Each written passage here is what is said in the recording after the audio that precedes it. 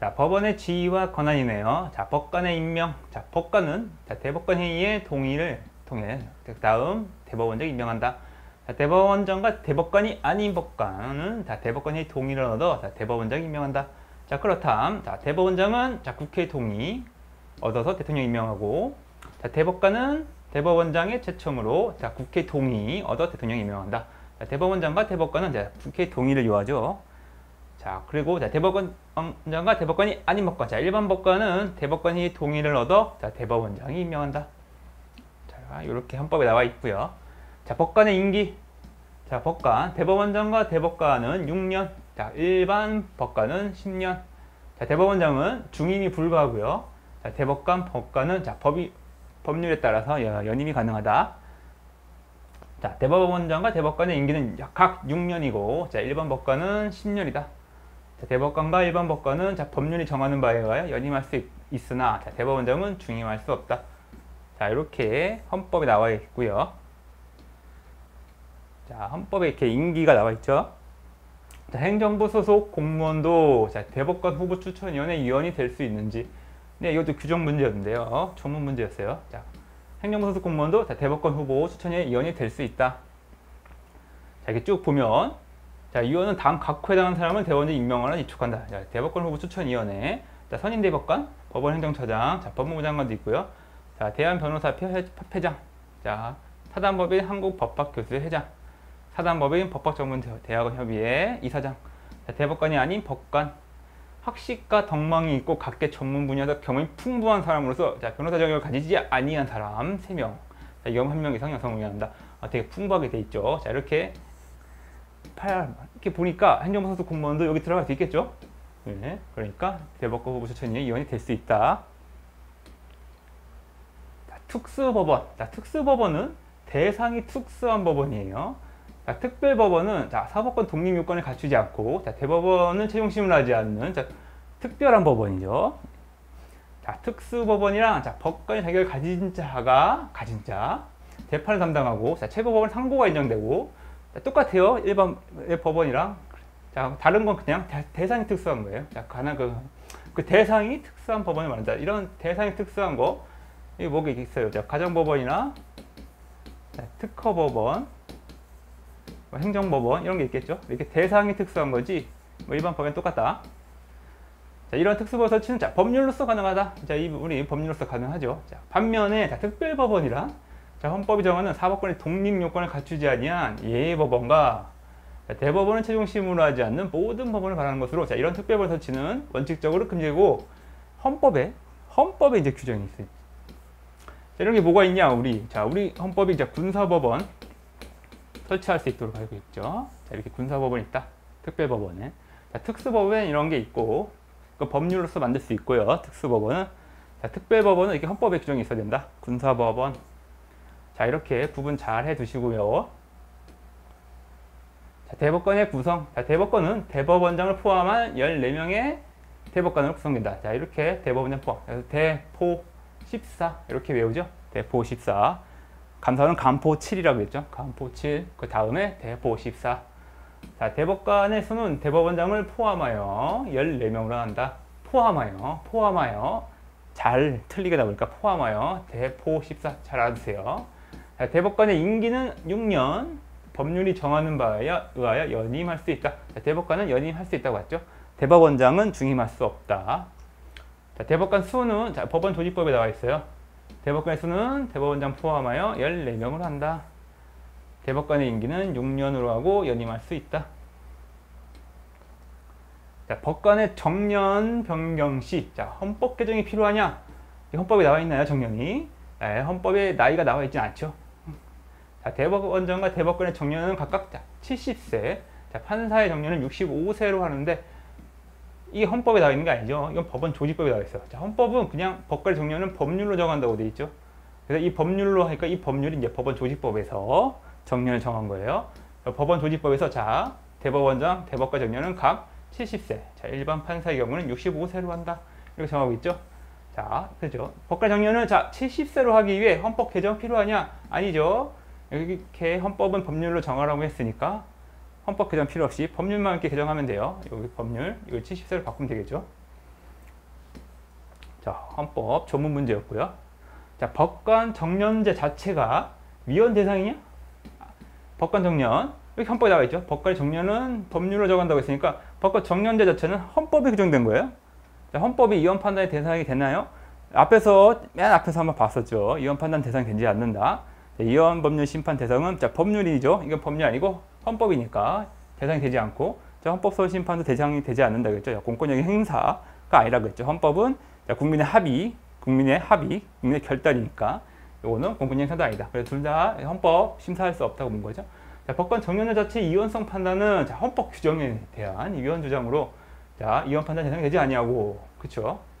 법관이 정년 연령을 규정한 자, 법률 법률에 대해서는 이제 이원 판단할 수 있죠. 자, 위헌 판단 대상이 될 수 있다. 자, 법관 정년제 규정이 자, 법관 신분 보장 규정에 위배되는지 자, 법관 정년은 법률을 정한다고 이렇게 헌법 좀 전에 봤죠. 자, 근데 106조 보니까 자, 법관은 탄핵 또는 근고 이상형 선고에 의하지 아니하면 자, 파면되지 아니하고 징계 처분에 의하지 않으면 뭐 정직, 감봉, 기타 불이한 처분을 받지 않는다고 했어요. 이게 신분 보장 규정인데 자 이렇게 정년 규정도 있고 정년제 이렇게 파면되지 않는다. 요거 탕금파 아니면 탕금 탄핵 또는 근거 아니면 파면되지 않는다고 했는데 이렇게 정년을 정해놓은 게 이렇게 파면되지 이 두 가지 사유 아니면 파면되지 않는다고 했는데 정년에 달하면 청년에 달하면 이게 또 해임되는 거 아니에요? 파면되는 건데 하변이 효과가 있으니까 이 두 개 충돌하는 거 아니냐라고 이제 문제가 된 거였는데요. 이렇게 위배되는 게 아니라 서로 다른 헌법 규정이 있을 때 헌법 규정 둘 다 조화적으로 해석해서 둘 다 이렇게 보장되도록 해야 되죠. 자, 그래서 자 보면 자 6, 헌법 106조의 법관 신분 보장 규정은 자 105조 제4항에 자 법관 정년제 규정과 조화롭게 해석해야 할 것이다. 자, 그래서 정년제를 전제로 재직 중인 법관은 자 탄핵 또는 근고에서 영향 선고에 의하지 아니하고는 파면되지 아니하며 자 이렇게 징계 처분에 의하지 아니하고는 자 이렇게 처분을 받지 아니한다고 해석하여야 한다. 자 그런 해석하에서 자 입법자가 법관의 정년을 정한 건 이 신분 보장 규정에 위배되지 않는다. 이렇게 본 거죠. 자, 정년제를 전제로 자 탄핵 또는 근거상 양성부에 의하면 아니하고는 파면되지 아니한다고 본 거지. 자 이렇게 조화롭게 해석을 해야 되겠죠. 헌법 규정끼리는 서로 어느 게 우위에 있다고 볼 수 없으니까. 자 양형위원회 구성. 자 양형위원회는 자 위원장 포함 여기 2포네요. 위원장 포함 13명. 자, 대법원에 두는 양형위원회는 위원장 한 명을 포함한 13명이 위원으로 구성된다. 그래서 위원장 포함한 13명. 예, 이렇게 예, 잘 나오지 않는 규정인데 이렇게 또 문제 나왔네요. 모의고사. 이렇게 봐두시고요. 자, 대법관 회의의 의결 종족수. 대법관 회의 의결 종족수는 자, 3분의 2 출석에 자, 출석 가반수 찬성을 요하고요. 자, 의장은 가부동수 결정권을 얻는다. 자, 의장은 가부동수 결정권. 자, 대법관 회의예요. 네, 심판권과 달라요. 대법관의 네, 대법원의 심판권과 달리 자, 의장은 가부동수 결정권을 갖는다. 대법관 회의. 대법관 회의는 대법관 전원의 3분의 2 이상의 출석, 자, 출석이나 가반수 찬성을 의결한다. 자, 의장은 표결권을 가진다. 그리고 가부동수 결정에도 결정권 가진다. 이게 이렇게 법원 조직법에 나와 있고요. 자, 명령. 자, 명령의 헌법 위반 여부가 전제가 된 경우, 재판에 전제가 된 경우, 자, 대법원이 최종적 심사 권한을 갖는지, 네, 심사권 갖죠. 자, 명령, 규칙 또는 처분이 헌법이나, 자, 헌법도 포함된 거예요. 자, 법률에 위반되는 여부가 재판에 전제가 된 경우, 대법원은 이를 최종적으로 심사할 권한을 가진다. 자, 헌법이나 법률, 자, 법률뿐만 아니라 헌법도 포함된 거죠. 헌법, 법률에 위반되는 여부가 재판의 전제가 된 경우 대법원은 최종적 심사의 권한을 가진다. 명령 규칙에 대한 최종적 심사권. 그건 재판의 전제가 된 경우죠. 자, 그리고 헌법이나 법률에 위반되는 경우다. 대법원 규칙 제정권의 대상. 자, 소송 절차, 내부 기율에 대해서 대법원 규칙 제정할 수 있고요. 자, 임기. 자, 임기. 임기는 아까 앞에 한번 나왔죠. 헌법이 직접 규정하고 있다고 했죠. 임기는 헌법 직접 규정하고 있고, 자, 정년은 법률을 정하는 바에 의한다고 했으니까 자, 법률, 정년은 법률로 정하고 있다. 자, 사법부 독립성 및 전문성 요청을 감안하여 자, 헌법은 대법원이 법률에 접촉되지 않는 범위에서 자, 소송에 관한 절차, 법원의 내부 규율, 사무 처리에 관한 규칙을 제정하도록 명문을 규정하고 있으며 자, 법관의 임기는 헌법에서 직접 하고 있고 자, 법관의 정년은 자, 이임에 따라 법률을 정하고 있다. 자, 대법원 심판권 행사. 자, 대법관 회의랑 그 구분해서 알아두시라고 방금 얘기했죠. 자, 3분의 2 합의체에서 하는데 대법원 심판권은 자, 대법원장은 가부동수 결정권이 없다. 야, 여기 아까 대법관 회의랑 다른 점이죠. 자, 대법원의 심판권은 대법관 전원의 3분의 2 이상의 합의체에서 행사하는데 대법원장이 재판장이 되지만 자, 가부동수이더라도 대법원장이 결정권을 갖지 못한다. 자, 이렇게 법원 조직법에 있어요. 자, 대법원의 심판권, 자, 대법관 전원의 3분의 2 이상의 합의체에서 행사한다. 자, 합의 심판은 자, 가반수로 결정한다고 되어 있고요.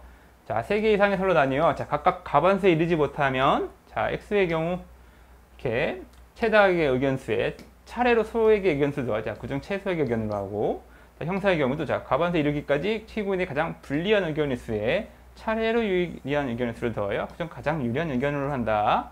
자, 이렇게 가반수 결정사항에 관해 자, 의견이 두 개의 설로 각각 나뉘어 가반수에 이르지 못할 때 이럴 때는 원심 재판을 변경할 수 없다. 네, 딱 보면 자 가부 동세더라도 결정권이 없죠 대법원장이 이렇게 보면 원심 재판을 변경할 수 없다 돼 있으니 이게 똑같이 똑같으면 숫자가 자 그래서 가부 동세에 대한 결정권이 대법원장에게는 없다. 그 심판할 때 대법관 회의랑 구, 잘 비교해야겠죠. 자 판결을 비공개할 수 있는지 자 판결 판결 심리가 아니라 판결이에요. 자 판결은 비공개할 수 없어요. 재판의 심리와 판결은 공개하는데 자 다만 국가의 안전보장, 안녕질서 방해하거나 성량한 풍성해야 할 염려가 있을 때 법원의 결정으로 자 심리, 심리는 공개하지 아니할 수 있어요. 법원의 결정으로. 판결은 반드시 공개해야 된다. 판단은 판결을 반드시 공개해야겠죠. 네, 이건 공개 안 할 이유가 없는 거예요. 자, 재판의 심리와 판결은 공개한다. 자, 심리는 이런 이런 이런 이유로 자 결정을 공개하지 아니할 수 있다. 자, 심리라고 되어 있죠. 판결은 빠져 있어요. 판결은 공개해야 된다. 반드시 공개한다 판결은 자 합의부 간화 사건으로 국민 참여 재판 제한하는 것. 자 무죄 추정의 원칙 바라냐?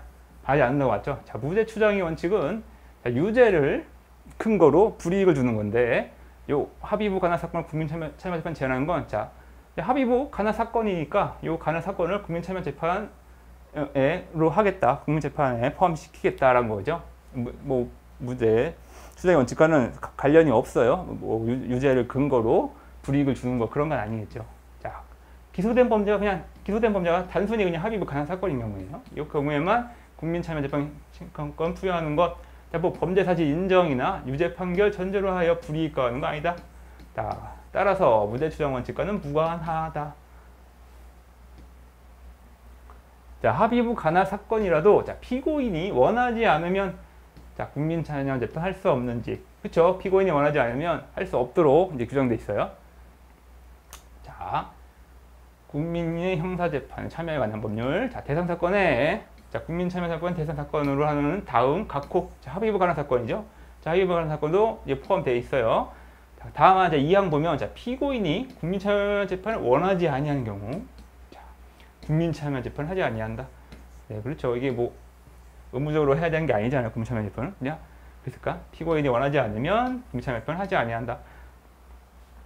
자, 국민 참여 재판 하는 게 내 사법 재판 받을 권리에 포함되는 것은 아니라고 했죠. 자, 그렇죠. 자, 합의부는 다음에 사건을 하는데 자, 사형 무기 또는 다, 단기 이상의 징역 등 근거에 해당 사건. 자, 이런 이런 합의부 사건이라도 피고인은 네, 원하지 않으면 국민 참여 재판 하지 아니한다. 자, 군사 재판을 자, 국민 참여 재판에서 제외한 것이 자, 입법 재량 일탈이냐? 자, 아니라고 봤죠. 자, 군사 재판을 국민 참여 재판 대상 사건 제외한 것, 자, 입법 재량 일탈한 것이라고 볼 수 없다. 자, 군사 재판 여기 나오네요. 특별법원이라고 했죠. 자, 군사 재판을 관할하기 위해서 자, 특별법원, 군사법원을 둘수 있다. 자, 군사법원 상고심은 대법원을 상관하라고. 자, 군사법원의 조직, 권한, 재판관의 자격, 자, 법률로 정한다. 자, 군사법원도 또 특수성이 있죠. 자, 그러다 보니 요 조직, 권한, 재판관 자기가 다 이제 법률을 정하니까 자, 입법 재량이다. 입법 재량이 있다. 야, 이런 재, 입법 재량이 인정되는 자, 군사 재판의 조직이 권한 이런 이런 게 있어서 요 군사 재판, 국민 참여 재판 제외한 건 나름대로 이게 입법 재량에 포함된 것이고요. 또 군사 요 국민 참여 재판 같은 경우에는 이제 배심원도 확보해야 되고 또 인적 자원, 또 물적 자원 다 확보해야 되는데 요 그런 거 딱 고려했을 때, 자 군사 재판은 좀 빠, 역사적 국민차원 재판을 하지 않아도 되겠다라고 이제, 입법자가 판단한 건 나름 합리적이다라고 좀 봤어요. 자, 그래서 입법자랑 이탈한 것이라고 볼 수 없다.